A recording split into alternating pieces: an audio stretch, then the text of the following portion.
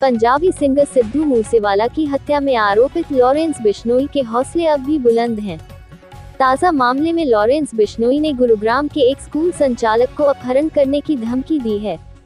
बताया जा रहा है कि इस स्कूल संचालक से लॉरेंस बिश्नोई गैंग की ओर से फिरौती की मांगी गई है और नहीं देने पर अपहरण करने की धमकी देने की बात सामने आई है।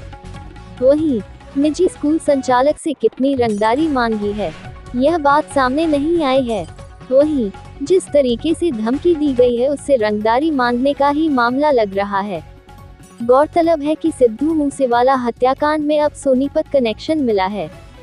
सोनीपत पुलिस ने सीआईए के साथ मिलकर रात भर ज़िले में छापेमारी की है।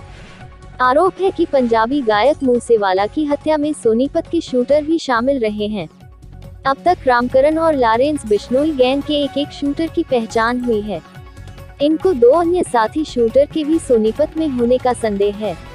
ऐसे में आरोपितों की धरपकड़ के लिए ताबड़तोड़ छापेमारी की जा रही है। आपके इस मामले में क्या विचार कमेंट में बताएँ। चैनल को सब्सक्राइब करें।